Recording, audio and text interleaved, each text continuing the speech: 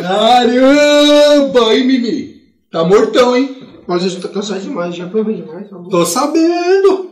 Ué, chegou lá no trampo, já brigou de cara com o patrão. Briguei mesmo. E na hora do almoço, Mimi? Hum, Foi coxa de frango, mano. foi. Que você gosta, não é? Adoro. Então, Mimi, você foi morder e tava estragada. Tá uma porcaria, ruim demais. Mimi, eu sei que quando você fica nervoso no trampo, mano, Hum. você pega o carro e sai de rolê. É, Só que hoje teu carro tava quebrado. E não é que tava? Caramba, Mimi. Ó, Hum, tô sabendo. Aí tu voltou pra casa de condução, Mimi. é. Trenzão lotado. E ainda por cima uma velhinha falou que você tava assediando ela. Mas tem bonde que está agora na sua casa? É não, Mimi. Hum. É que eu tô lendo suas postagens no Face.